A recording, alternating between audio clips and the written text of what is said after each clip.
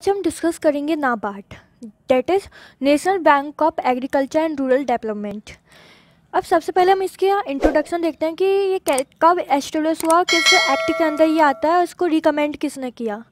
तो first of all it comes under act NABARD act 1981 यदि ये किसी एक्ट के अंदर आता है तो फिर ये एक स्टैचुरी बॉडी हुई, क्योंकि स्टेचुरी बॉडी कैसी एक बॉडी होती हैं, जो कि किसी एक्ट के अंदर बनती हैं। और फिर एक्ट आने के बाद ये फाइनली एस्टेब्लिश हुआ था कब? 12 जुलाई 1982 और इसका रिकमेंडेशन किया था क्रैपिकार्ड कमेटी ने। ओके? जो कि होती है, जिसका फुल फॉर्म होती है Committee to Review the Arrangement for Institutional Credit for Agriculture and Rural Development और ये कब एस्टेब्लिश हुई थी? क्रैपी कार्ड कमेटी ये 1979 में एस्टेब्लिश हुई थी। क्योंकि जैसा कि मैंने आपको बताया था कि जब भी कोई बॉडी बनती है इंडिया के अंदर तो सबसे पहले कमेटी बैठती है। कमेटी अपना रिकमेंडेशन देती है। फिर रिकमेंडेशन के बाद पार्लियामेंट में लॉ पास होता है। उसके बाद ही कोई बॉडी बनती है एक्ट का पास होने के बाद। तो फिर ये एक स्टेचुरी बॉडी है, जो कि नाबार्ड एक्ट 1981 के अंदर आती है, और ये क्रैपी कार्ड कमेटी थी। उसके हेड थे शिवा रमन कौन थे? शिवा रमन और शिवा रमन इस कमेटी के हेड थे, इसीलिए इस कमेटी को हम बोलते हैं Shiva Raman commission okay so okay या और इसके हेड क्वार्टर कहाँ पर है? मुंबई में। इसके हेड क्वार्टर है मुंबई में। ये बहुत इंपॉर्टेंट क्वेश्चन है और ये बहुत ज़्यादा बैंकिंग एग्ज़ाम में पूछ लिया गया है। इसलिए आपको याद रखना है कि नाबर्ड का हेड क्वार्टर है मुंबई में और इसके चेयरमैन है जी आर चिंटाला। ओके ये इनके चेयरमैन ये हमने डिस्कस कर ही लिया है कि नाबार्ड एक स्टेचुरी बॉडी है क्योंकि एक ये एक्ट के अंदर आती है। इसको बनने से पहले एक एक्ट पास हुआ था, इसलिए ये एक स्टेचुरी बॉडी है। और ये एक एपेक्स बैंकिंग इंस्टीट्यूशन होता है किसका? जो कि फाइनेंस प्रोवाइड करता है एग्रीकल्चर एंड रूरल डेवलपमेंट में। और वैसे पूरी ओवरऑल बैंकिंग सिस्टम का जो एपेक्स बैंक होता है, वो कौन होता है? आरबीआई ये हम डिस्कस कर चुके हैं। Head of CRAFICARD committee Sivaraman इसीलिए ये शिबारमन क्रैपिकार्ड कमेटी के हेड थे, इसीलिए हम इस कमेटी को सिबारमन कमेटी या सिबारमन कमीशन भी बोलते हैं ओके अब क्या हुआ था कि जब नाबार्ड एस्टेब्लिश हुआ था, उससे पहले तीन आरबीआई की एजेंसी थी, जो कि नाबार्ड का फ़ंक्शन परफॉर्म करती थी। दैट इज़ रूरल एरिया में फाइनेंस को प्रोवाइड करने का क्रेडिट फैसिलिटी प्रोवाइड करने का और रूरल एरियाज़ को डेवलप करने का।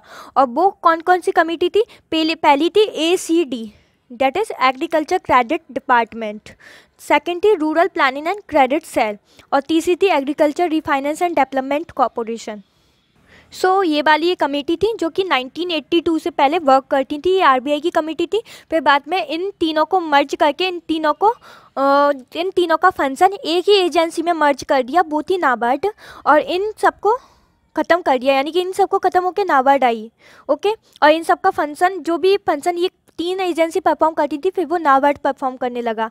और ये एजेंसीज थी Agriculture Credit Department Rural Planning and Credit Cell Agriculture Refinance and Development Corporation okay ये मोस्ट इंपॉर्टेंट क्वेश्चन है। ओके okay, ये पूछ भी चुके हैं बहुत सारे नाबर्ड के एग्ज़ाम में इसलिए आपको ये ये रिमेंबर करना है रिकॉल करके रखना है कि कौन कौन सी होती है? Agriculture Credit Department Rural Planning and Credit Cell और तीसरी होती है Agricultural Refinance and Development Corporation okay अब ये वाला क्वेश्चन मोस्ट मोस्ट इंपॉर्टेंट बन जाता है, क्योंकि हाल ही में जो नाबार्ड एक्ट था, नाबार्ड बिल था, उसमें एक अमेंडमेंट हुआ है, और वो अमेंडमेंट क्या था 2017 में हुआ था, और ये अमेंडमेंट पास हुआ 2018 में। इसमें क्या किया, जो गवर्नमेंट थी, उसने जो कैपिटल है ऑथराइज कैपिटल है, नाबार्ड के लिए, वो पाँच हज़ार करोड़ से तीस हज़ार करोड़ कर दिया okay so this amendment enabled union government to increase the authorized capital of NAVAT from rupees 5000 crore to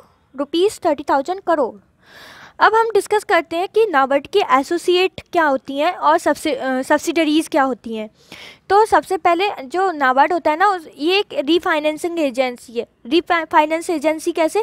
कि ये अपना जो फ़ंक्शन है वो परफॉर्म करती है with the help of R R Bs and other cooperative bank ये क्या करती है कि ये फाइनेंस प्रोवाइड करती है आर आर बी को, फिर R R B finance provide करता है फार्मर को। इसलिए इसे अपन बोलते हैं रीफाइनेंसिंग एजेंसी ओके अब हम देखते हैं, जो ये एसोसिएट होते हैं नाबार्ड के। एसोसिएट मतलब कि जो नाबार्ड का फ़ंक्शन परफॉर्म करते हैं। जैसे कि मुझे कुछ काम है तो मैंने आपसे बोला कि आप मेरा ये काम परफॉर्म करो। तो फिर आप मेरे क्या हुए? एसोसिएट हुए इस तरह से। तो नाबार्ड का केवल एक ही एसोसिएट है, और वो है वर्ड ओके वर्ड की फुल फॉर्म होती है Bankers Institute of Rural Development okay okay so so, BIRD है वो किस एक्ट के अंदर आता है? ये आता है अंडर सोसाइटी एक्ट 1860 के अंदर आता है ठीक है? और ये इसका हेड क्वार्टर कहाँ लोकेटेड है? वो लोकेटेड है लखनऊ के अंदर ओके अब ये एस्टेब्लिश हुआ था 1983 में। भाई नाबार्ड ने इसको बनाया था। 1983 में नाबार्ड के बनने के बाद वर्ड बना जो कि नाबार्ड के फ़ंक्शन को परफॉर्म करता है। और इसका हेड क्वार्टर है लखनऊ में। ओके? और ये सोसाइटी एक्ट 1860 में आता है। अब इस ये कौन कौन से फ़ंक्शन परफॉर्म करता है? तो फिर ये ट्रेनिंग प्रोवाइड करता है research and consultancy services provide करता है in the field of agriculture and rural development अब हम ये जानते हैं कि नाबार्ड के लिए अपना फ़ंक्शन परफॉर्म करता है तो ऑब्वियस है कि rural agriculture and rural development के लिए ही वर्क करेगा। इसलिए ये क्या करता है? ट्रेनिंग और research and consultancy services provide करता है। अब हम डिस्कस करते हैं सब्सिडरी सब्सिडरी मतलब होता है हाथ पे इतना ही आपको याद रखना है सब्सिडरी नाबार्ड की सब्सिडरीज हैं जो कि अलग अलग फ़ंक्शन को परफॉर्म करती हैं। तो फिर सबसे पहले जो पहली सब्सिडरी आती है वो होती है एन के एफ़ एल यानी कि Nav Kisan Finance Limited N K F L की फुल फॉर्म क्या है? नव किसान फाइनेंस लिमिटेड ओके अब इसका इसको हम पहले किस नाम से जानते थे? इसको हम जा, जानते थे Agri Development Finance Limited okay so formally पहले हम इसको जानते थे एग्री डेवलपमेंट फाइनेंस लिमिटेड जो कि तमिलनाडु में स्थित है इसका हेड क्वार्टर अब ये जो आ, नव किसान लिमिटेड है फाइनेंस लिमिटेड ये इनकॉर्पोरेटेड किया किसमें कंपनी एक्ट 1956 में इसको इनकॉर्पोरेट किया था कब? चौदह फरवरी 1997 में okay incorporated under the Company Act 1956 on 14 फरवरी 1997 में। अब इसके मेन ऑब्जेक्टिव क्या होते हैं? ये क्रेडिट फैसिलिटी प्रोवाइड करता है किसको? प्रमोशन प्रमोट करने के लिए एक्सपैंड करने के लिए और कॉमर्शलाइजेशन ऑफ़ एंटरप्राइजेज जो कि एग्रीकल्चर रूरल डेवलपमेंट एक्टिविटी में एंगेज रहती हैं और एग्रीकल्चर से रिलेटेड यानी कि एग्रीकल्चर अलाइड एक्टिविटीज़ में एंगेज रहती हैं। अलाइड एक्टिविटी कैसे? जैसे कि फ़ार्मिंग हो गया पोल्ट्री हो गया डेयरिंग वगैरह, इन सब में जो भी एक्टिविटी जो भी एंटरप्राइजेज एंगेज है, उनको ये क्रेडिट प्रोवाइड करता है ताकि उनका प्रमोशन हो, उनका एक्सपेंसन हो और उनका कमर्शलाइजेशन हो। ये फ़ंक्शन होता है नाबार्ड की पहली सब्सिडरी का ओके जो कि नव किसान फाइनेंस लिमिटेड अब सेकंड आती है नव समृद्धि फाइनेंस लिमिटेड ओके नव समृद्धि फाइनेंस लिमिटेड, इसको हम पहले बोलते थे ए वी एफ़ एल और ए वी एफ़ एल की जो फुल फॉर्म है, वो होती है एग्री बिज़नेस फाइनेंस लिमिटेड और ये किस कंपनी एक्ट के अंदर आती है? 1956 के अंदर आती है। ऑन ये कब आने लगी थी? 1956 के अंदर। ये वाली कंपनी एक्ट के अंदर। सत्रह फरवरी 1997 से, ओके? अब वो इससे पहले वाली नव किसान फाइनेंस लिमिटेड वो आती थी चौदह फरवरी 1997 से, इसके अंदर, कंपनी एक्ट के अंदर। और ये रजिस्टर्ड होती है आज N N B F C होता है non banking finance corporation with R B I, ठीक है? ये एन बी एफ़ सी के रूप में आर बी आई के अंदर रजिस्टर्ड है, नव समृद्धि फाइनेंस लिमिटेड। अब इसके ऑब्जेक्टिव्स क्या क्या होते हैं? तो ये ये क्या करता है कि फाइनेंस प्रोवाइड करता है ये फैसिलिटी प्रोवाइड करता है। किसके लिए? आ, कि, आ, किसके लिए क्रेडिट फैसिलिटी प्रोवाइड करता है? या तो कोई अकेला व्यक्ति हो जो कि लोन लेना चाहता हो या पे पूरी की पूरी एक एंटिटी हो। जैसे कि एन हो गए या M B I trust N G corporate producer organisation self help group इन सबको ये क्रेडिट फैसिलिटी प्रोवाइड करता है। और हेल्प करता है किसी भी प्रमोशन के लिए एक्सपेंसन और कमर्शलाइजेशन के लिए किसी भी एंटरप्राइज़ के लिए या फिर किसी इंडिविजुअल ने कोई एंटरप्राइज़ खोली है किसी विलेज के अंदर तो उसके लिए भी ये फाइनेंस प्रोवाइड करता है। सो so, अब हम इसके डिटेल में बढ़ते हैं इसके फ़ंक्शंस को। ये प्रोवाइड करता है credit facilities to individual and other legal entities such as N B F Cs M B Is trust N G Os corporate producers organisation self help group as well as individual for promotion, expansion, commercialization, modernization of enterprises or for activities in agriculture and off farm sector including microfinance MSME यानी कि micro small and medium enterprises के लिए भी ये finance provide करता है okay और ये माइक्रो फाइनेंस प्रोवाइड करता है हाउसिंग एजुकेशन एंड ट्रांसपोर्ट के लिए भी क्रेडिट फैसिलिटी प्रोवाइड करता है। ओके तो ये फ़ंक्शन था नव समृद्धि योजना का। सॉरी, नव समृद्धि फाइनेंस लिमिटेड का। अब अगली सब्सिडरी आती है, नव फिंस जिसकी फुल फॉर्म होती है NABARD Financial Services Limited. Okay, अब ये भी किस कंपनी एक्ट के अंडर रजिस्टर्ड हुआ या इनकॉर्पोरेट हुआ है 1956 यानी कि अभी तक हमने जितने भी सब्सिडरी पढ़ी हैं, ये कंपनी एक्ट 1956 के अंदर इनकॉर्पोरेट हो गई, ठीक है? और जो नेफिन्स होता है, ये आरबीआई के एनबीएफसी एमएफआई के अंदर रजिस्टर्ड है। ये एनबीएफसी क्या होती है? नॉन बैंकिंग फाइनेंशियल कॉरपोरेशन और ये एक तरह से एन का टाइप है एम एफ़ आई जब हम एन बी एफ़ सी को डिस्कस करेंगे, उसमें आप समझ जाओगे कि एम एफ़ आई क्या होते हैं। अब इसके हेडक्वार्टर का है? इसके हेडक्वार्टर है बेंगलुरु में। और अब इसका क्या ऑब्जेक्टिव होते हैं? Okay okay? ये भी फाइनेंशियल सर्विसेज़ प्रोवाइड करता है। किसको? By providing micro finance and other facilities to needy and disadvantage in section of the society for securing their prosperity in both rural and urban areas ये क्या करते हैं? ये रूरल और अर्बन एरियाज़ के ऐसे सेक्शन को फाइनेंशियल फैसिलिटी प्रोवाइड करते हैं जिससे कि वो अब सेल्फ सफिशियंट हो जाए और अपनी प्रॉस्पेरिटी कर सकें। तो वो ऐसे कौन से होते हैं? स्मॉल सेक्टर जैसे कि जैसे कि weaker section of the society हो गया, या फिर ऐसे लोग जिनको पैसों की ज़रूरत है, ऐसे लोगों को ये फाइनेंस प्रोवाइड करते हैं ओके अब आता है नवर्ड फाउंडेशन ये फोर्थ सब्सिडरी है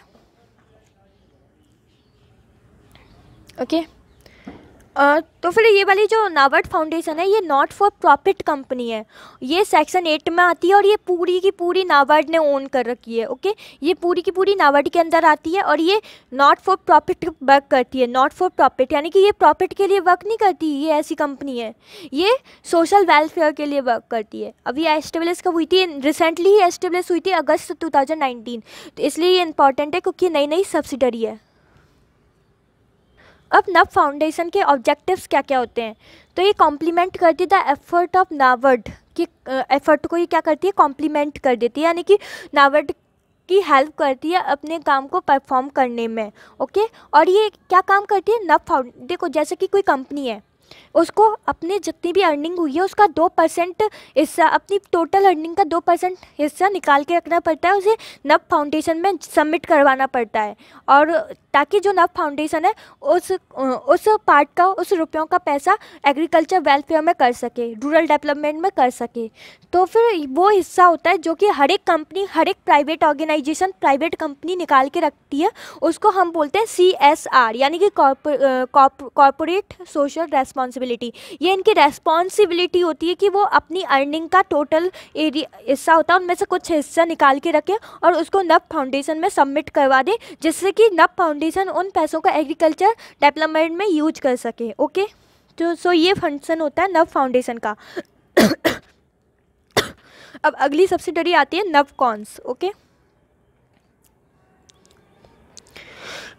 सुबह नव कौन की फुल फॉर्म होती है नावर्ड कंसल्टेंसी सर्विसेज़। जैसा कि इसका नाम बताते हैं, कंसल्टेंसी सर्विसेज़ प्रोवाइड करती है। ये भी नाबार्ड की फुली ओन्ड सब्सिडरी है। और ये अंडर कंपनी एक्ट 1956 के अंदर इनकॉपरेट हुई थी और ये एस्टेब्लिश हुई थी 9 दिसंबर 2002 को, ओके? 9 दिसंबर 2002 और इसका जैसे कि मैंने बताया था, इसका नाम से ही दिखता है कि कंसल्टेंसी सर्विसेज़ प्रोवाइड करती है। So provide consultancy in all spheres of agriculture rural development and allied areas so so, ये हो गई हमारी फिफ्थ सब्सिडरी अब लास्ट आती है यानी कि जो नाबार्ड की छह सब्सिडरी हैं ये आपको याद रखना है। अब फाइनल सब्सिडरी आती है नव वेंचर लिमिटेड नाम से इंडिकेट होता है कि ये एक ऐसी सब्सिडरी है जो कि फाइनेंस फैसिलिटी प्रोवाइड करती है फॉर वेंचर डेवलपमेंट में। ओके okay, किसमें वेंचर्स के डेवलपमेंट में। It is wholly owned subsidiary of NABARD Nav venture is the investment manager of Nav ventures fund one अब ये एक फंड है, ये नव वेंचर का फंड है। उसको मैनेज करने का काम करती है। इसका क्या काम है? नव वेंचर का। ये मैनेज करने का काम करती है किसका? एक मैनेजर है, किसकी? नव वेंचर फंड की, ओके? और इसका टारगेट कितना है? मतलब इसमें कितना सबमिट हुआ है पैसा? वो 500 करोड़ है। यानी कि जो गवर्नमेंट है, उसने इसके अंदर 500 करोड़ रुपए सबमिट कर रखे जमा कर रखे उसको मैनेज करना कि उसे किस किस काम में लगाना है? इन सब की ज़िम्मेदारी होती है नव वेंचर की, ओके? अब इसका फ़ंक्शन क्या होता है? तो इसका फ़ंक्शन ये होता है कि ये फंड की क्रेडिट फैसिलिटी प्रोवाइड करती है, या पे इन्वेस्टमेंट करती है किसमें इन्वेस्ट करती है ऐसी स्टार्टअप में जो कि एग्रीकल्चर रिलेटेड एक्टिविटीज़ में एंगेज हैं, जो कि रूरल बिज़नेस का काम करती हैं, या फिर एलाइड सेक्टर का डेवलपमेंट का काम करती है, उनको ये फाइनेंस प्रोवाइड करता है फंड प्रोवाइड करता है इन्वेस्टमेंट करता है ओके और जो कि अभी ऐसी स्टार्टअप जो कि अभी मिड स्टेज में है अर्ली टू मिड स्टेज में ओके? यदि वो पूरी तरह से ग्रोन हो चुकी है सेल्फ सस्टेनिंग यूनिट बन चुकी है तो उसमें इन्वेस्टमेंट करने की कोई नीड ही नहीं है, क्योंकि वो तो पहले से अपना प्रॉफिट कमा रही है। लेकिन ऐसे एंटरप्रीनर ऐसी एंटरप्राइजेज जो कि अभी बनी है, जो कि अपनी अर्ली स्टेजेस में है या फिर मिड स्टेज में, जिनका बंद होने का खतरा बन सकता है तो उनको ये फाइनेंस प्रोवाइड करती है ताकि वो अपना जो फ़ंक्शन है वो अच्छे से परफॉर्म कर सकें।